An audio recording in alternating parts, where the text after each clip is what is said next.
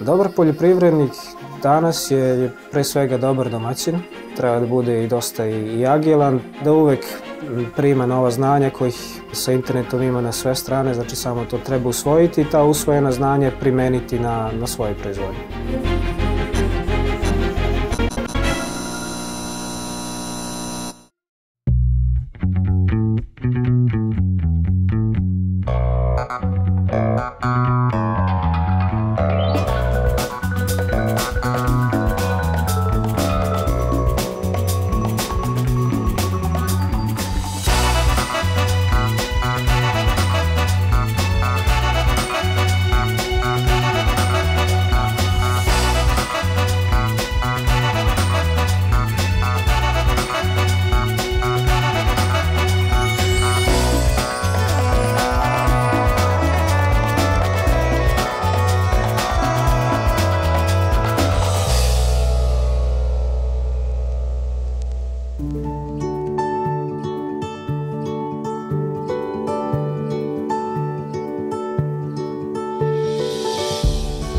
Na trpezi su danas paradajz, krastavac, kukuruz, cvekla, krompir i luk.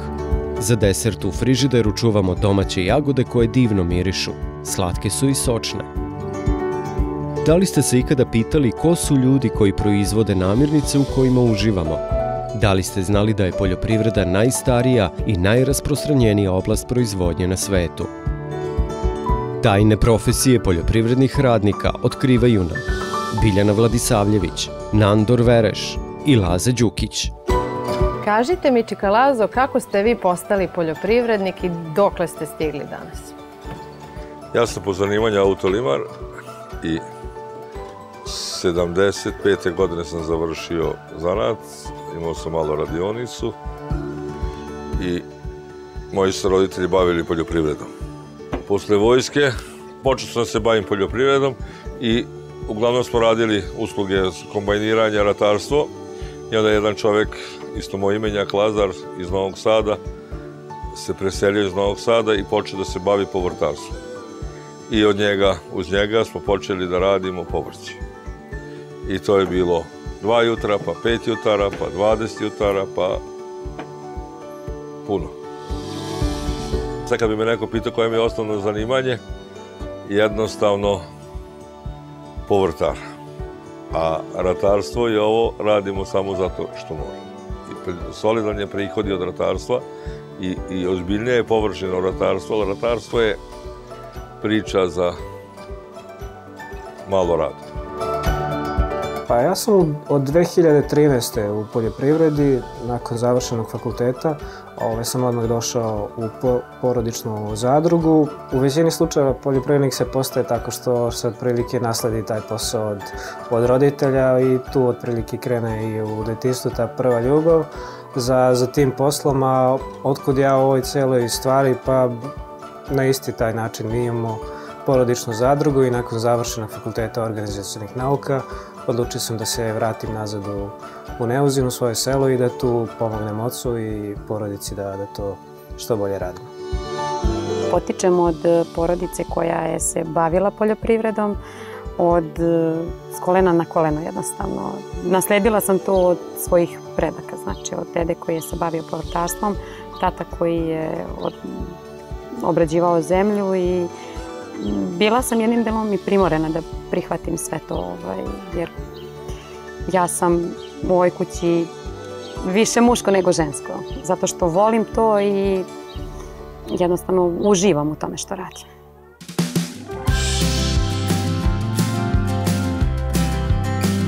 Srbija ima veliku mrežu obrazovnih i naučnih institucija koje se bave unapređenjem sela i poljoprivrede. Poljoprivredni fakulteti u Srbiji u prethodnom periodu su odigrali značajnu ulogu u obrazovanju stručnjaka, a edukacija poljoprivrednih proizvođača odvija se i preko savetodavne službe. Da li je za bavljanje poljoprivredom obrazovanje neophodno? Mislim da jeste, e, pogotovo u narednim godinama koje, će, koje su pred nama, jer E, očigledno je da, da jednostavno manji proizvođači sve, sve više gube bitku sa, sa tržištem i oni moraju da se preorijentišu na neku intenzivnu proizvodnju, što znači e, hvatanje nekih tržišnih niša i tu jednostavno je potrebno pored znanja iz proizvodnje, potrebno je ubaciti znanja iz, iz prodaje, iz marketinga i tako dalje i to je jedan kompleksan posao i vođenje financije koje, koje jednostavno trebalo bi da, da se ima jedno šire, šire obrazovanje, da se shvati taj kontekst šta, šta se dešava poljoprivrednikom. Pa nije potrebno obrazovanje ko hoće da radi, jednostavno e, treba pomoć e, stručnog lica.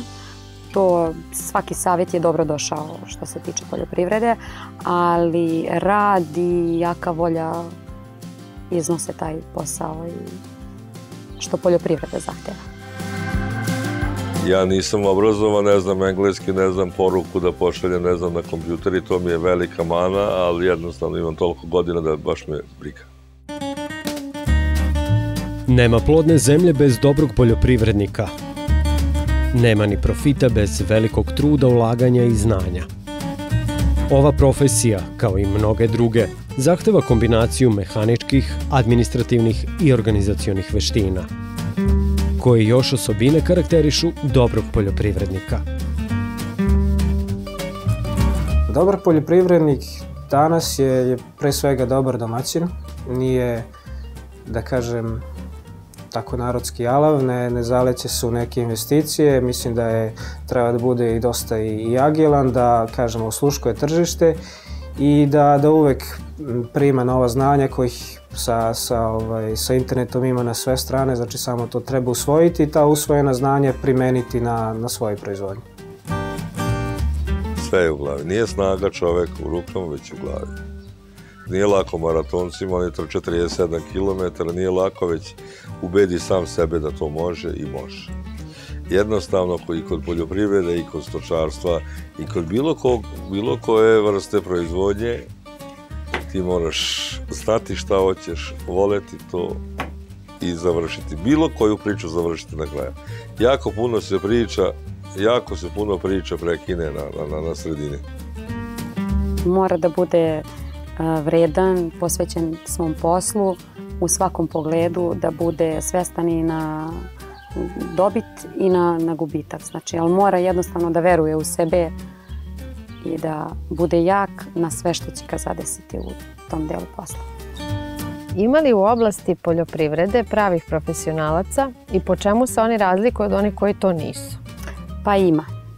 Ima profesionalaca, samim tim veći poljoprivrednici, veća gazdinstva, ona se razlikuju od manjih, nas manjih.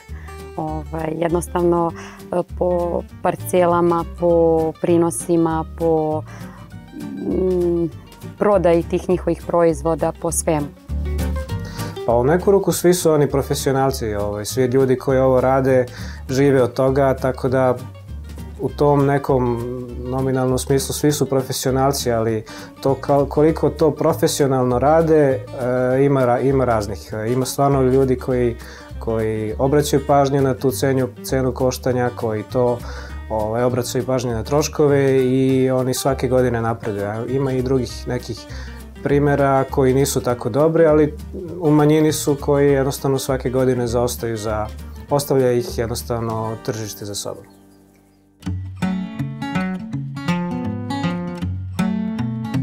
Poznato je da radni dan na selu počinje veoma rano, često i pre samog svitanja. Poljoprivrednike uvek očekuje niz aktivnosti koje se moraju obaviti u određeno vreme, jer bi kašnjenje negativno uticalo na tokove u proizvodnji. Od čega se sastoji i kako izgleda njihov radni dan? to je neograničeno vreme. Znači od ujutru do uveče, do samog leganja. Stalno sam u tom poslu. Imam jako dosta obaveza te obaveze e, podelim od samog jutra s tim što imam obavezu prema deci, majici, sestri, stoci i biljkama. Naravno, prvo krećemo od e, stoke da i njih sredim jer one su zahtevne, moraju se na svoje vreme. Imam jagode koje su i one isto tako zahtevne u svom vremenu ovaj, koje moraš da jednostavno neguješ kao i decu. Oko dece najmanje vremena provodim sa decom zato što živim od poljoprivrede i moram maksimalno da se posvetim poljoprivredi, tako da sve ovo ostalo put obavljam i radim. A na prvom mestu mi je znači zemlja, stoka, jagoda, pa sve ovo ostalo. Sve ovo ostalo može da razume za razliku od njih, oni ne mogu. Pa ja ustajem u leti, ustajem oko 5 sati, obiđem njive, od 7 sati počinju radnici da daju, da, damo zapovesti, doručkujemo ja sam u pola 12 u ležećem položaju. Ja pravim pauzu oko 2 sata u podne odmor i onda ustajemo dva, pola, tri, kad prođe malo vrućine, kad sasahne i onda teramo do 8, 9, 10, kako kad. Složen je to postupak. Ne možeš ujutru da prska, recimo, prskanje je najveći problem. Mora, mora da se steknu prirodni uslovi da radi. Ne valja kad je rosa, ne valja kad je vrućina, ne valja kad je ovo i onda uvek imaš nekog na terenu i onda to tako obilazimo i Radni dan izgleda tako što dođemo u 7 sati, e, prvo pregledamo izveštaj od prethodnog dana i onda odemo na raspored gde se e, ljudima u proizvodnji izdaju radni, e, radni zadaci i onda počinje tako, ovaj, provera izvršenja tih radnih zadataka i tako dalje. Pa udarna sezona je kada je setva, jeli, to je prolećni deo za okopavine, Udarno je kad je, kad je žetva, jeli kad kreće od jula za, juna, jula za pšenicu i krajem avgusta za suncokret i posle toga kukuruz, to je ono što je udarno i jesenji radovi, opet e, to je taj udarni deo, a najmirnije je otprilike kad obično idemo na odmore, to je početak avgusta, jeli između ovaj, žetve pšenice i suncokreta i kada je zima, otprilike decembar, kad je neki otprilike mir i kad nema radova. Nije kao u ostalim profesijama da postoji to radno vreme od 7 do 3 ili od, od ovaj, u nekom određenom periodu, nego jednostavno priroda diktira kako i kad koliko radimo.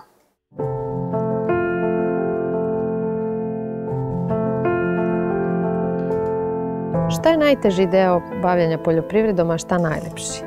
Najlepši je uh, gajenje tih biljaka i odgojom tih uh, životinja. A najteži je plasiranjem robe na tržište, znači da li povrća ili stoke, to je baš jako veliki problem što se tiče poljoprivrede. Pa najteži deo u ovom poslu je kada sve dobro uradite jednostavno priroda sve to diktira i jednostavno bude suša ogromna na koju vi ne možete da utičete i onda sav vaš rad jednostavno je mm, za, za ništa otprilike. Ili kad jednostavno, ili kad proizvedete, a na, bude na tržištu neka mala cena i opet ne opravdava vaš napor i rad svakodnevni. A najbolji deo je jednostavno kad sav taj rad vidite, mislim u svaka, u svakom poslu, kad vidite da vaš, da, da vaš ovaj, posao ima smisla i da ovaj, sve ono što ste radili da jednostavno daje plodove svog, tog, taj rad.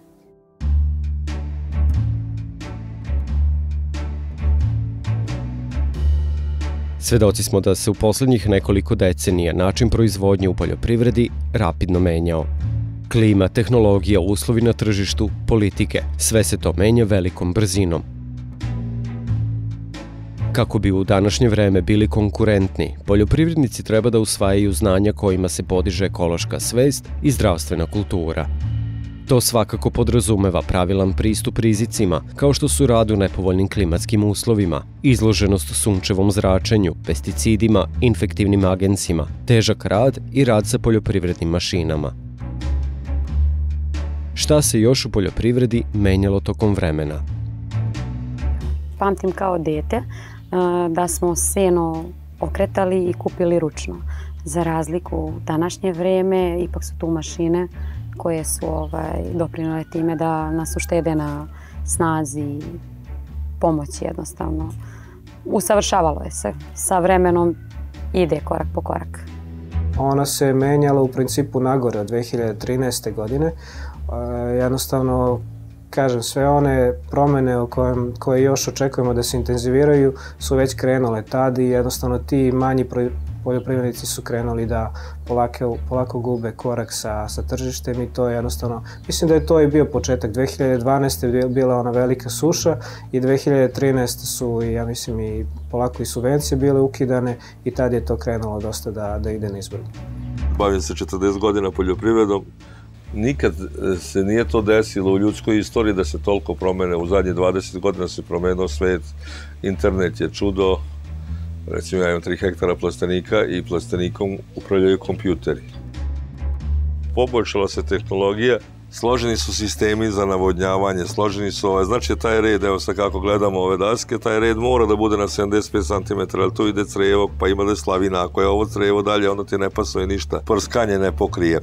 Znači, navigacija je najvažnija mera. I ko to ne radi, bolje da ni ne počinje. Kako bi odgovorili na tržišne izazove, poljoprivrednici traže efikasna rešenja, a najčešće se okreću modernim tehnologijama. Imamo radično, nisam standardizovao mašinu, tako smo kupovali kad, kad kako ovo, ali uglavnom su traktori do 100 konja i preko 150 konja i ti, 100, ti od 100 konja najviše rade, znači ti rade ove lakše operacije, a oni rade teže i tako da svako ima svoje mesto. Kao početnik, mlad, nisam u toku tih e, zaštita kobiljaka, imala sam zaštitara koji me je pratio i koji mi pomaže, jer jednostavno svaka godina ide u, sa novim preparatima, sa svim tim novim, upoznajemo se, usavršavamo i isprobamo na tim biljkama, tako da nisam sama bila u tome, imala sam pomoć zaštitara i stručnih lica. Pa mi smo od početka e, radili na tome kako što efikasnije da organizujemo u proizvodnji i u tom cilju napravili smo izveštaje, napravili smo sistem da, da jednostavno što, što više i što bolje možemo da iskontrolišemo tu cenu koštenja, da je što više smanjimo, tako da to su izveštaje, to su gantogrami i sve ono što se otprilike uči na, na fakultetu za ovaj, organizacijonih nauka, šta su ti neki alati, to smo mi sad tu primenili.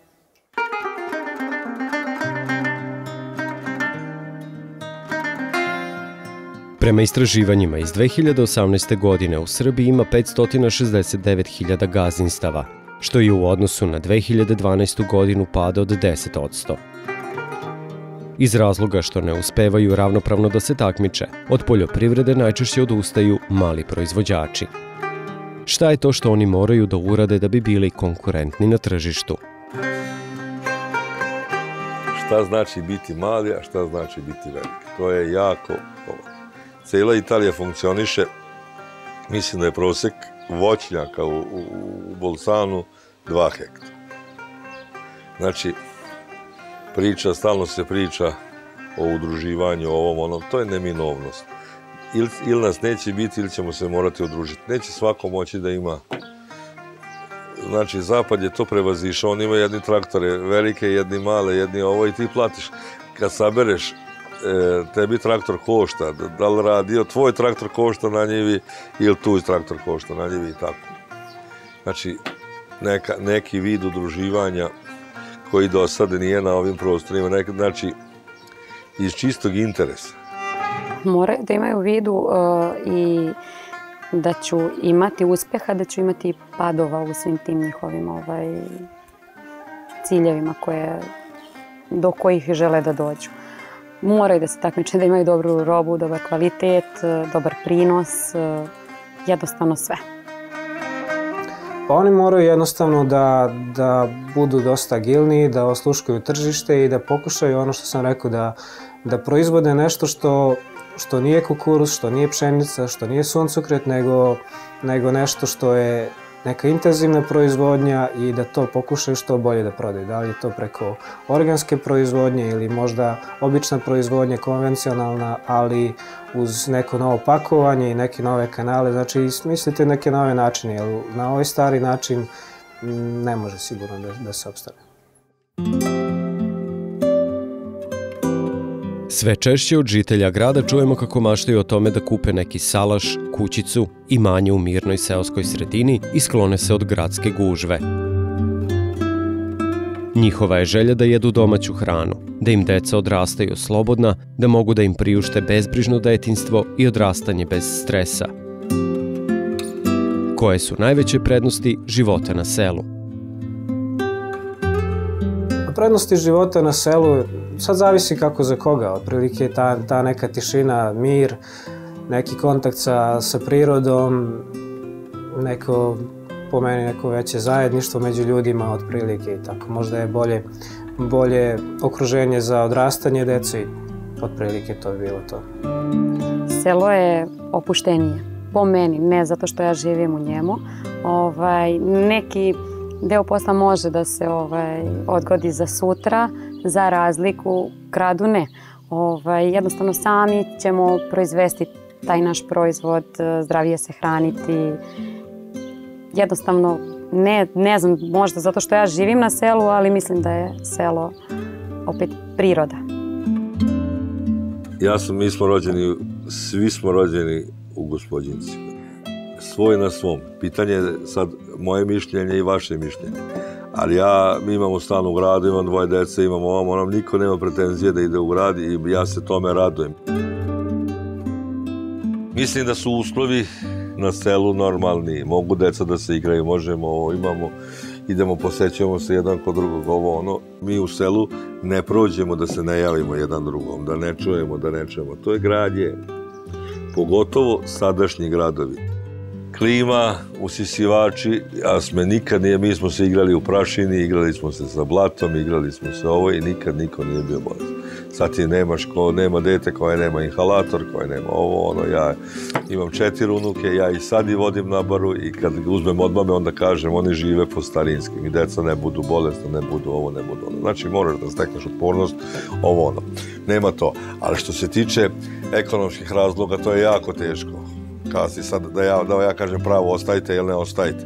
Ali mislim da i ovi ljudi što odu u Nemačku, čujem ja priče, čujem ovo ono. To je jednostavno. Mao Tse-tung je lepo kazao. Kako god se okreneš, guzica ti je od pozadi. I to je istina.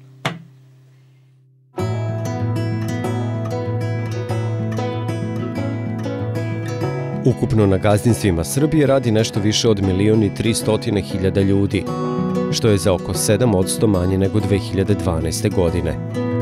Prosečni nosilac gazdinstva u Srbiji starije 61 godinu i tek svaki 14 je mlađi od 40 godina. U nastojanju da podmladimo i modernizujemo našu poljoprivredu, šta bismo mogli da posavetujemo mladima? Ako hoćeš 2 miliona evra, nemoj se baviti poljoprivredom. Ako hoćeš da manje, bavi se poljoprivredom. Jednostavno, to je zanimanje, to treba znati, voleti i umeti. Selu, poljoprivredi moraš da budeš 100% posvećen. Znači da se odluče, jer nema to danas hoću, sutra neću. Posao kojim se bavimo je slično vremenu. Proleće, leto, jesen, zima, tako i jednostavno kad nam vreme dozvoli da radimo te radove, mi ih odradimo, jednostavno moraju da veruju u sebe i da idu ka tom cilju. Pa moj savjet je pre svega da dobro osmisle šta hoće da urade. Oni treba da ispituju to tržište. Da li ono što oni hoće da proizvedu, da li to uopšte postoji tražnja za tim na tržištu. To je prvi početni korak gde mnogi od njih pogreše jer radi nešto što je komšija radio ili negde su čuli da se to radi i onda jednostavno to što su oni proizveli ne mogu da prodaju. Znači prvo je ispitati tržište, nakon toga pogledati e, specifičnosti te proizvodnje, tog proizvoda, da li može da se čuva, šta uraditi ako ne možemo odmah prodati, da li imamo mogućnosti za čuvanje. Jednostavno celu tu logistiku ispitati, posle toga i kanale prodaje, ovaj, rešiti unapred da ne bismo posle imali problema. I onda kad to osmisle da sve troškove stave na, na papir, da ih možda povećaju za 20% i ako to i tad bude imalo smisla, da to rade jer je, kažem, u ovom trenutku poljoprivreda je jako težak ovaj, posao, lep, ali svakako težak posao, može tu jako lep život da, da, da, da se formira za sebe i za svoju porodicu, ali sve to mora da se gleda kao i bilo koji drugi posao, da se prate troškovi i da se to jednostavno smisleno osmisli ceo taj posao. Poljoprivreda je način života, ne trpi izgovore i zahteva potpunu posvećenost. Imali smo privilegiju da sa nama svoje misli i iskustvo podele tri generacije poljoprivrednika, među kojima je i jedna samohrana majka. I dok uživate u slasti domaće lubenice, jagoda i paradajza, koji su možda baš Biljana, Nandor ili Laza proizveli, imajte na umu da za njih poljoprivreda znači poljoprivreda, budućnost. ljubav, vera i snaga. Više od posla.